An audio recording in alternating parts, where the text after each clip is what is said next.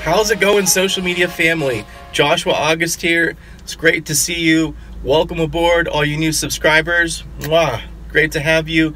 This is the video where we do like an encouraging video once a week. I pray and ask God for a word of encouragement, and then I give it to you guys, the viewers. It's always a good time. Please comment. I screen those, but I love to write people back, interpret dreams, and things like that. Uh, so, anyways, let's just get right into the word for today. I woke up this morning and I was praying, and I just felt like God said, Be still and know that I'm God. And if you're a busybody like me, uh, I just feel there's a lot of moms watching. Uh, you're very busy, it's, it's hard to find that time. Um, and you're asking for things, praying for things, but, and I am too. I'm a go getter, constantly working. Um, working really hard and it's hard for me to get still but i just want to encourage you to be at peace trust god. The lord has heard your prayers and he's working on things working behind the scenes ironing those things out. Little mom joke for you guys who are watching. Uh, but anyways and it says in the old testament you know he wasn't in the earthquake he wasn't in the thunder or the fire or whatnot but he was in the still small voice. And in order to hear you know the still small voice we need to get quiet, right? Because it's really uh, more of a whisper where the Lord speaks to me. It's not uh, pushy, it's not loud, it's not, um, you know, it's patient, but it is still small and sweet. So I encourage you to do that. I also saw this graphic a few times this week and it ministered to me, but it says basically, you know, love yourself like the way you love a close dear friend or a relative or a child you know, I just feel there's a lot of people watching today that you're givers, you pour out a lot, you bless a lot, you sow a lot. Uh, even ministers and people have been in ministry a long time. Uh, but it's okay to keep a piece of pie for yourself. It's okay to uh, keep your own portion. You know, God gives us specific um, portions for physical physical strength and spiritual strength, and they're not to make not to be shared. They're meant for you um, there might be people who just are going through exhaustion, overworking, just go, go, go, go, go, go, go, go. Um, but it's okay to take time and invest in yourself, pour into yourself. And uh, the scripture comes to mind Galatians 5 16 through 18. I'm going to read it really quick. I say then, walk in the Spirit, and you shall not fulfill the lusts of the flesh. For the flesh lusts against the Spirit, and the Spirit against the flesh. And these are contrary to one another so that you do not do the things you wish. But if you are led by the Spirit, you are not under the law. So I just want to encourage you if you get exhausted, if you're working too hard, if you're not stopping, it's easy to, to fall into your own strength, to fall into your own devices, your own mind, your own soul, being led by those things instead of the Spirit. We're commanded to walk in the Spirit.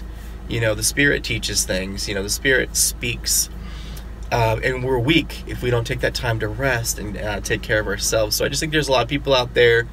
Make sure you take that time to reflect, to let the Lord pour into you, to let the Lord fill you up, so then you can pour out on other people as well. Okay, so it's more of a shorter word today, but the last few things I heard were, you know, seek God with due diligence, but keep being diligent and the vision you're chasing. You know, for a while, it's easy to get discouraged because you don't see fruit right away. But I believe that some of you are kind of, in, you know, continuing to plow, chasing your dream, chasing your vision. Don't give up. There was a season in my life um, where like three months went by and it was just dry. And I was just building and working. And then after that time frame is when the real breakthrough and blessing came. So I encourage you if you're building something, don't stop, keep going. God's going to bless that. He has a reservoir of blessings for you here's a little fun thing, just a little bit of creativity for you.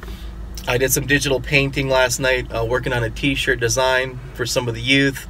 Really like how it turned out. Um, let me know if you're creative or if you're into things like that. It's a great way to glorify God. And a picture says a thousand words. Okay, the Lord just gave me another little bit really quick. I just feel like the Lord's bringing some healing to some of you, that He is bringing out the person He created you to be. He's restoring uh, there's been there's been attacks on, on identity. There's been attacks on confidence. There's been attacks on you know self belief. And I just feel like God's restoring that in you. Um, there's some of you you're not going to put up with things that you put up with in the past, the way people treated you. God's going to shift. It's all this word's all tied together. He's going to shift self-love back to you, self-preservation, self-investment. And you're not going to waste time on things and people that you did before.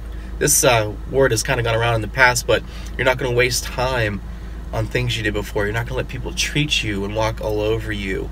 And you're going to just walk out in confidence and you're not going to hesitate chasing the things. Like you got so beat up in the past, you forgot about things you love, things that you that were your dreams, that were your your vision, and and, and people would make fun of you, and, and they they would just uh, stop you and say things and jabs and just little comments, snide comments. But these things really do stop us, you know. I even had someone made a comment about one of my songs one time, and I just know it was from the enemy trying to stop this song from getting out. But I am going to record it and I just push through. But I just break that off you, break it off me, because you have a voice. I just want someone to know out there that God's saying you have a voice. You, you, he wants to restore your voice, your anointing, your first love, your break off the calluses and, and, and, and just the caking of all these years and, and ministries and words and bring you back to your first love in Him, why you started ministry, why you started helping people, why you care about people, why you love people, your love for the Lord, the way you used to worship Him and pour into Him and, and bless Him. God wants to restore that. Anyways, much love. See you soon.